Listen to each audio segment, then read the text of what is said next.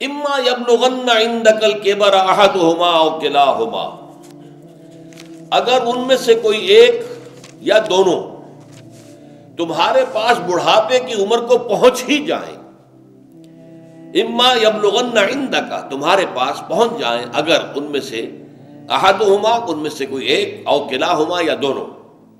تو اب دیکھیے احکام کیا ہیں، بوڑھے والدین۔ فلا تق الحما اف نمبر ایک انہیں اف تک مت کہو۔ اف کیا ہے؟ بڑی چھوٹی سی شے کوئی حکارت آمیز شے، ناخن جو تراش دیے جاتے ہیں، ان کو بھی اف کہتے ہیں۔ اتنی سی چھوٹی بات بھی ان سے نہ کہو کہ ان کی گستاخی جو ہے اس درجے میں ہو رہی ہو۔ جیسے کہ یہ تراشے ہوئے ناخن ہے اس درجے میں بھی کوئی گستاخی ان کے سامنے نہ کرو۔ فلا تق الحما اف۔ اف ہے آپ پر۔ ہمارے ہاں یہ لفظ اف زیادہ استعمال نہیں ہوتا، تف استعمال، تف ہے تم پر، تف ہے آپ پر، نہیں، ہرگز نہیں۔ اف الکما وما تعبدون، حضرت ابراہیم علیہ السلام نے فرمایا تھا، سورہ انبیاء میں ہے موجود یہ۔ اف الکما سورہ احقاف میں جو سرکش اولاد ہوتی ہے، ان کے بارے میں کہا گیا، وہ اپنے والدین کو اف الکما آپ پر تف ہو۔ نہیں، لیکن یہاں جو حکم ہے، فلا تق الحما اف، انہیں اف تک نہ نمبر دو، ولا تنہر ہوما کبھی انہیں جھڑکنا مت۔ فلا تنہر سورت الدحا جو ہے، اس کی جو آخری آیت ہے، تو کسی کو جھڑک دینا۔ کسی سائل کو جھڑکنا نہیں ہے۔ اگر نہیں کوئی دے سکتے تو آپ شرافت کے ساتھ اسے معذرت کر لیں۔ بس اللہ اللہ خیر صلی اللہ بھی معاف کیجیے۔ بس، جھڑکو مت۔ ولا تنہر ہوما نمبر تین وہ قول کریما ان کے ساتھ گفتگو کرو بڑے ادب کے ساتھ۔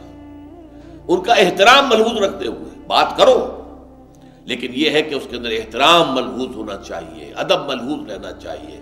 ایسا نہ ہو کہ ان کے دل کو ٹھیس لگے۔ یہی ہے وہ جو بچہ سا تھا، ہماری گود میں کھیلتا تھا۔ اس کی نجاستیں ہم صاف کرتے تھے۔ اس کو دودھ ہم پلاتے تھے۔ اس کو چلنا ہم نے انگلی پکڑ پکڑ کر، آج کل تو خیر اور بہت سی چیزیں ایجاد ہو گئی ہیں واکرز ہیں اور کیا کیا ہے لیکن پہلے کیا ہوتا تھا؟ والدین ہی انگلی پکڑ کر چلایا کرتے تھے اور چلانا سکھاتے تھے۔ آج یہ سینہ تان کر بات کر رہا ہے ہم سے۔ آج یہ اس طریقے سے جو ہے، گستاخانہ انداز اس نے ہمارے سامنے اختیار کیا ہے۔ وہ دل کو ٹھیس لگے گی۔ میں نے اس سے پہلے بھی ایک مرتبہ آپ کو بتایا تھا کہ صرف دو چیزیں ایسی ہیں جن کو محبت اور تعظیم کے انداز میں دیکھنا بھی عبادت ہے۔ محض دیکھنا اور کچھ نہیں کر رہا ایک خانہ کعبہ۔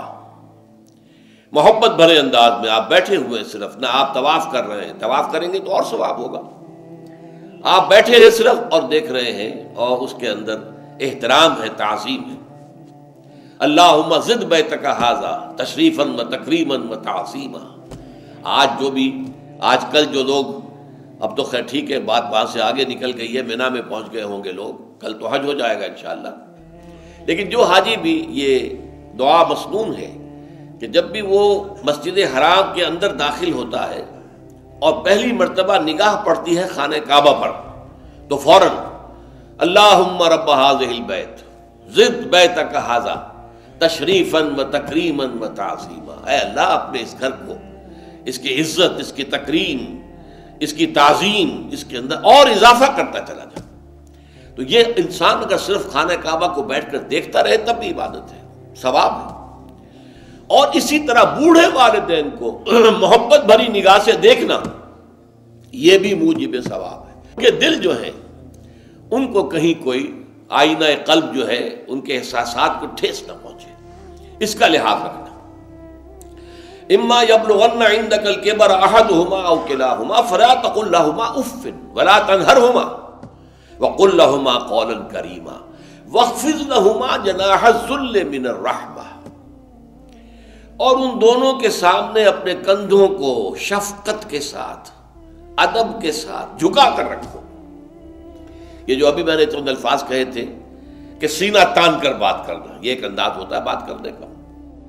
ایک یہ ہے کہ آپ بات کر رہے ہیں والدین سے، والدہ سے والد سے، لیکن جھکے ہوئے کندھے جھکائے ہوئے اب یہ بھی دو ہی باتیں ہیں۔ یا والدین کے سامنے کندھے جھکانے ہیں، یا پھر حضور سے کہا گیا ہے۔ اے نبی، آپ اہل ایمان کے لیے وقفس جناح کا دل مومنین یہ مومن جو ایمان لائے ہیں، ہمارے نیک بندے ہم پر، چاہے وہ غریب ہے فقیر ہے چاہے وہ غلام ہے، مسکین ہے، آپ اپنے کندھے ان کے سامنے جھکائیے۔ یہ بہت بڑی بات ہے جو کہی گئی ہے محمد الرسول اللہ صلی اللہ علیہ وسلم سے۔ آپ ان کے سامنے وقفس جناح کلیل اہل ایمان کے لیے اپنے کندھے جھکائیے، جھکا کر رکھیے، ان کا احترام کیجیے۔ حالانکہ اصل احترام تو حضور کا ہے۔ وہ تو جب ہم پڑھیں گے سورہ حجرات تو جا کے معلوم ہوگا کہ کس درجے احترام ملحوظ رہنا چاہیے حضور کا صلی اللہ علیہ وسلم۔ لیکن یہاں نوٹ کیجیے وقفز لہما جناح ذل بن الرحمہ اور اس سب کے بعد بھی وَقُرْ رَبِّ رَحْمْهَمَا كَمَا رَبَّيَانِ صَغِيرًا۔ اور یہ دعا کرتے رہا کرو، اے رب ہمارے، ان دونوں پر، میرے والدین پر رحمت فرما، رحم کر۔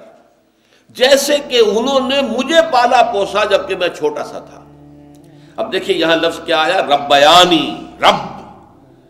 اللہ تعالیٰ رب ہے حقیقی، وہ ہے اصل میں پالن ہار ساری چیزیں اس کی پیدا کردہ ہے ماں باپ کے دل میں بھی محبت اور شفقت تو اسی نے ڈالی ہے۔ ماں کی چھاتیوں میں دودھ تو اسی نے بنایا، پیدا کیا ہے۔ تو اصل رب تو وہ ہے۔ لیکن اس کی ربوبیت کا ظہور جو ہو رہا ہے عالم واقعہ میں، عالم مادی میں، وہ والدین کی ربوبیت ہے۔ والدین پال رہے ہیں، پوس رہے ہیں۔ اپنی راتوں کی نیندیں حرام کرتے ہیں۔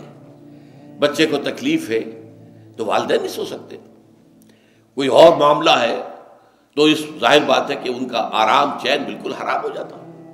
یہ ہے در حقیقت۔ اب ان کا بدلہ کیا چکا سکتا ہے آدمی؟ میں نے بارہ عرض کیا ہے کہ شکر جو ہے وہ شکر کا تقاضا یہ ہے کہ انسان حق ادا کرنے کی کوشش کرے۔ حل جزا الحسان الحسان کسی نے آپ کے ساتھ بھلائی کی ہے تو آپ کو بھی اس کے ساتھ بھلائی کرنی چاہیے۔ لیکن والدین نے جو بھلائی تمہارے ساتھ کی ہے، تم اس کا بدلہ کیا دے سکتے ہو؟ اگر تم نے ان کے بڑھاپے میں خبر گیری کر بھی لی، تب بھی وہ بدلہ نہیں ہو سکتا کہ جو انہوں نے تمہارے وجود میں آنے۔ اور تمہارے لیے جو مشقتیں جھیلی ہیں، جو اشار کیا ہے، جو قربانیاں دی ہیں تمہیں پالنے پوسنے کے لیے، اس کا بدلہ نہیں ہو سکتا۔ اس کا بدلہ ایک ہی ہے۔ اور وہ کیا ہے؟ اللہ سے دعا کیا کرو۔ وقر رب رحم ہوما کما رب بیانی صغیرہ پروردگار ان دونوں پر رحم فرما، رحمت نازل فرما، ان کی مغفرت فرما، ان کے درجات درجات بلند کر، ان کی غلطیوں سے درگزر فرما، ان کے گناہوں کو بخش دے، ان کی غلطیوں سے چشم پوشی اختیار فرما، پروردگار۔ اور یہ در حقیقت میں تجھ سے درخواست کیوں کر رہا ہوں؟ کہ مجھ پر ان کے احسان کا بہت بڑا بوجھ ہے۔ ان کے احسانات کا بدلہ میں نہیں چکا سکتا۔ وقر رب ہم ہوما کما رب یعنی صغیرہ اور کہا کرو، اے رب ہمارے، اے رب میرے میرے ان والدین کے اوپر، بوڑھے والدین پر رحم فرما۔ اور ظاہر بات ہے کہ یہ سلسلہ جو ہے، یہ صرف زندگی کا نہیں ہے۔ ان کے انتقال کے بعد بھی رب رحم ہوما کما رب یعنی صغیرہ۔ رب فرلی ولے والدیہ ورحم ہوما کما رب یعنی صغیرہ۔ یہ آپ کی نمازوں کے ساتھ دعاؤں میں مستقل دعا ہو جانی چاہیے۔ کہ پروردگار مجھے بھی بخش فرما دے، مجھے بھی بخش دیجو۔ اور پھر میرے والدین کو بھی بخش دیجو۔